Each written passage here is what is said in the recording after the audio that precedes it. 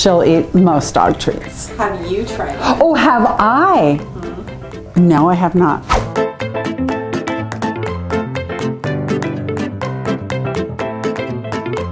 Do you know why you're here? No.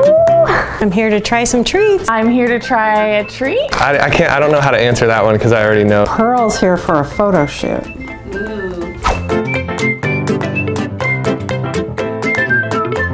No, never. She'll eat most dog treats. Have you tried? Oh, have I? No, I have not. No, I have never eaten dog treat. Uh, so uh, no, I haven't eaten a dog treat. I had a brother who used to eat milk bones.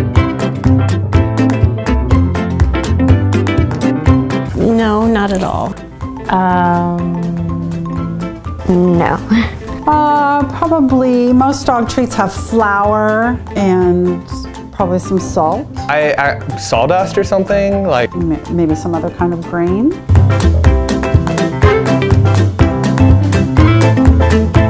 organic peanut butter, organic oat flour. Organic oat flour, organic oats. Okay, I cannot even see the ingredients. Oh, I know, I can see them because they make it nice and large. Um, organic peanut butter, organic oat flour, and organic molasses. That's it.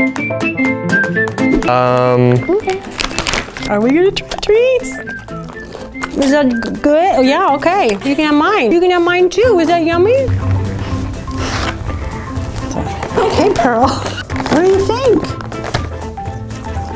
They ask you how you are, you just have to say that you're fine when you're not really fine. But you the peanut butter ones. I'm glad I'm doing the peanut butter ones. Should I just try it?